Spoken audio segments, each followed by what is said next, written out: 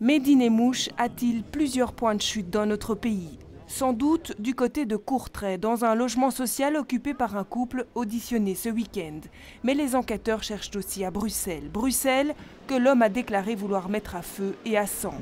Le samedi 24 mai, Médine Mouche passe à l'acte au musée juif de Belgique. L'attentat dure quelques minutes à peine. Le terroriste prend la fuite à pied. Où va-t-il ensuite? Il est probable qu'il soit resté à Bruxelles, hébergé par des connaissances. Le suspect connaît bien la capitale, impliqué et condamné sept fois dans des trafics de voitures entre Bruxelles et le nord de la France. Mais jusqu'à la veille de son arrestation, aucune trace du tueur. On a essayé de retracer un petit peu tout ce qu'il a fait, mais on n'en est qu'au début, évidemment, de, l'enquête.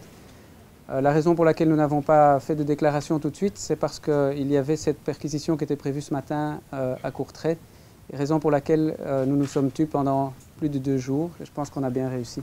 C'est le jeudi 29 mai que Nemouche embarque à 17h45 gare du Nord dans un bus direction Marseille. Un bus en provenance d'Amsterdam.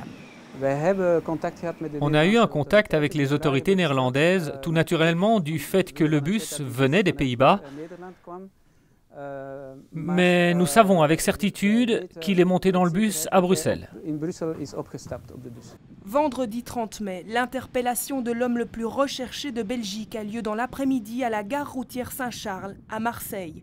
Lors d'un contrôle antidrogue classique sur cette ligne, quatre douaniers marseillais mettent fin à une gigantesque traque.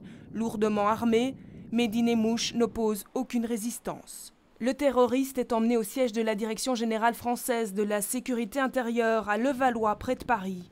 Samedi 31 mai, les enquêteurs belges ont rejoint leurs homologues français.